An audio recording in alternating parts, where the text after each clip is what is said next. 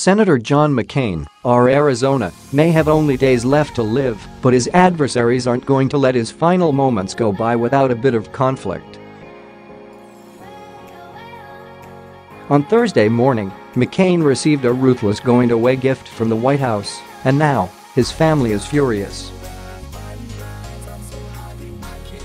People reports that a White House official mocked Senator John McCain's brain cancer diagnosis just three weeks after the politician underwent surgery for an intestinal infection. The remarks were reportedly made on Thursday morning, one day after the Republican announced that he opposed President Donald Trump's nominee for CIA Director, Gina Haspel. It doesn't matter, he's dying anyway, Special Assistant Kelly Sadler allegedly said during a closed-door meeting at the White House. The White House responded to the comments in a statement, saying, We respect Senator McCain's service to our nation and he and his family are in our prayers during this difficult time. McCain's wife, Cindy, 63, tweeted at Sadler on Thursday, writing, at K-E-L-L-Y-S-A-D-L-E-R 45 May I remind you my husband has a family, seven children and five grandchildren. John McCain, 81, was diagnosed with brain cancer in July 2017 after undergoing a surgery to remove a blood clot above his eye last summer.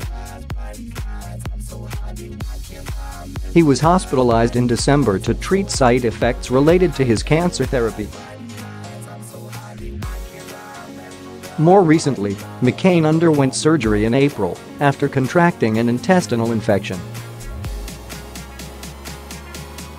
Meghan McCain, the senator's daughter and a co-host on ABC's daytime talk show The View, offered an update on her father's condition at the time, tweeting, my father at Sen. John McCain is in stable condition. He continues to inspire me every day with his intense grit and determination.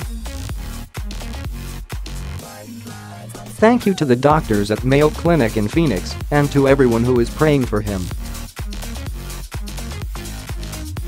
On Tuesday, Meghan asked the general public to stop discussing her father's funeral as he has not yet passed. It's just insensitive, and it's not appreciated at the moment, she said Tuesday on The View. Many conservatives have taken issue with Senator John McCain's more centrist politics over the years, but now is not the time to pass judgment or play partisan games.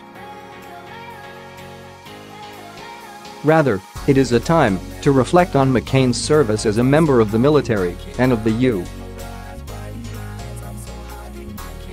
government and to pray for his family as they spend what are likely the senator's last